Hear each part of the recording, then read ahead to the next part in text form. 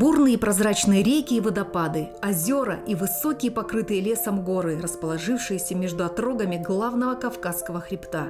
Таким предстает Архыз перед многочисленными гостями Карачаева-Черкесии. Даже необычное имя этой местности таинственно. Одна из версий происхождения Архыз от карачаевского слова «арюкыз», то есть «красивая девушка». И правда, эти места очаровательны и загадочны.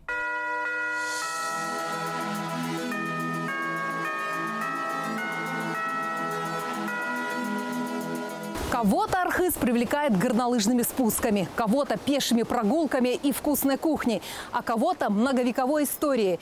Сегодня наш путь ведет в Аланское городище. Но прежде попробуем увидеть всю его красоту с высоты птичьего полета глазами того, кто скрывается среди скал. Это удивительное место уже стало популярным объектом паломничества. Оно привлекает верующих из разных уголков планеты, а эту лестницу в народе называют «дорогой к лику Христа». Установили ее в 2011 году. До этого на 100-метровую высоту приходилось карабкаться по скале при помощи веревок. 196, 197, 198, 199, 200. Да, шаг уже, конечно, не такой бодрый, как в начале пути. Позади 200 ступеней, а впереди еще более 300.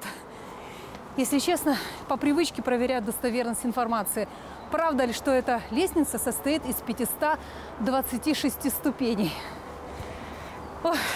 И все же изнеженным городским жителям преодолеть 526 ступеней, а это высота примерно 30-этажного дома, непросто. Но на некоторых пролетах есть скамейки, где можно присесть, отдохнуть и сделать красивое селфи. И вот, наконец, мы на смотровой площадке. На отвесной скале, укрытой от непогоды естественным каменным навесом, открывается нашему взору удивительная достопримечательность – наскальный лик Христа. Это самая высоко расположенная икона в мире. Также ученые склоняются к мнению, что эта икона может оказаться самым древним образом Спасителя в России. Однако время создания лика все еще остается загадкой. Его обнаружили в Архизе в 1999 году, хотя слухи об иконе в этих местах ходили давно. Нашли лик братья Анатолий и Сергей Варченко. Интересно то, что они много раз проходили мимо, но обнаружили изображение не сразу. В один из дождливых дней молния сверкнула над одной из вершин, и братья увидели на скале заветный лик Христа. Изображение заметить не просто не только из-за особенностей расположения. На солнце скала отсвечивает, и лик становится почти незаметным, поэтому в пасмурную дождливую погоду найти его оказалось намного проще. Само изображение не очень большое, 140 на 80 сантиметров. Образ является древней фреской, написанной методом яичной темперы. Для нанесения рисунка использовалась краска трех цветов – белого, красного и коричневого. Несмотря на это, многие верующие продолжают называть изображение нерукотворным ликом Христа.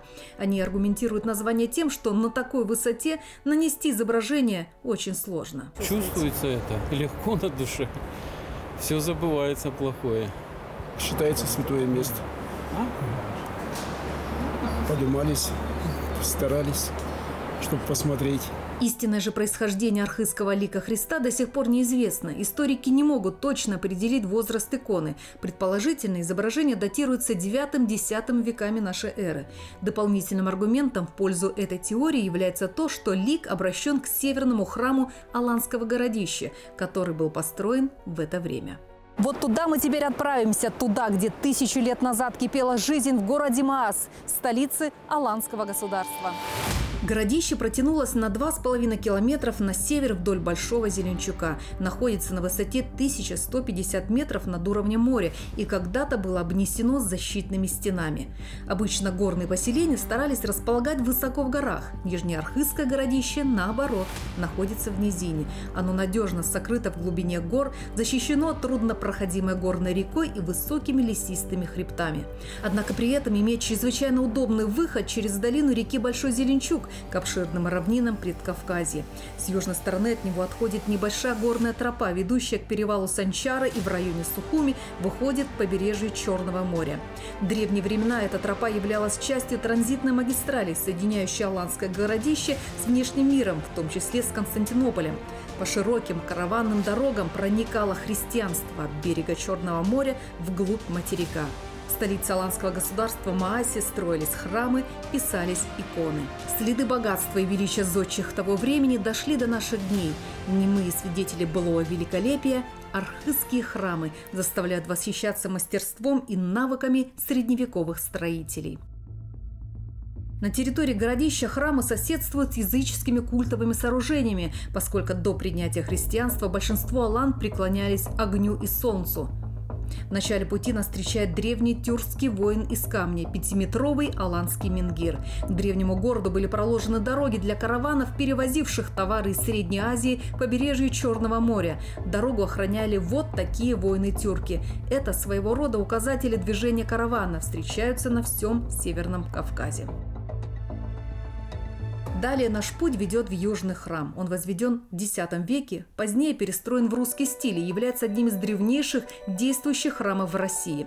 Перестройка храма – дело рук монахов, основавших в 1880-х годах при древних церквах Александра Афонскую нештатную общежительную пустынь. Сохранилась роспись алтарной части. В 1991 году храм был освящен во имя святого пророка Илии и называется «Церковь святого пророка Илии».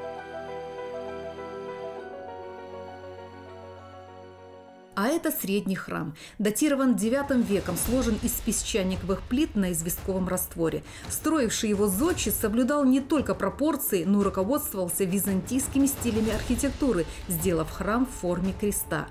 Полная высота храма соответствует его длине, а высота окон барабана равна радиусу купола.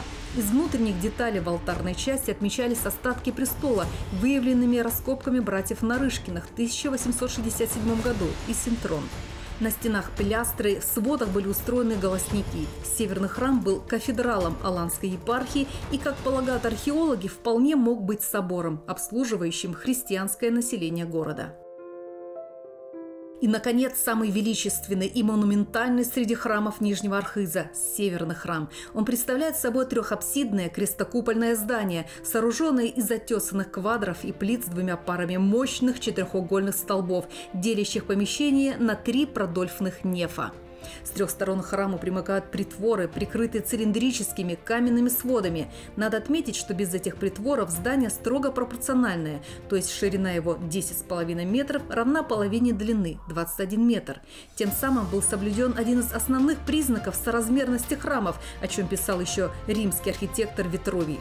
Храм датируется первой четвертью X века. Одна из многих находок при раскопках – перстень-печать армянского царя Ашота прямо подтверждает это. Исторические факты документальные достоверно свидетельствуют об архитектурно-исторических связях Алании с восточно-византийскими провинциями и особенно Трапезундом. Это первый храм, который видели купцы шелковых караванов, возивших товары из Китая в Византию.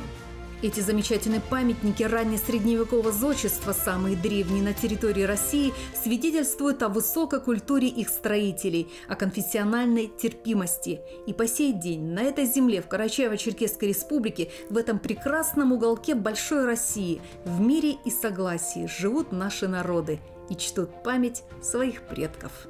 Вот такой большой музей истории под открытым небом. Это не просто крупнейшее аланское поселение 9-12 веков, а настоящий Помпеи для археологов и историков. Еще много тайн им предстоит разгадать.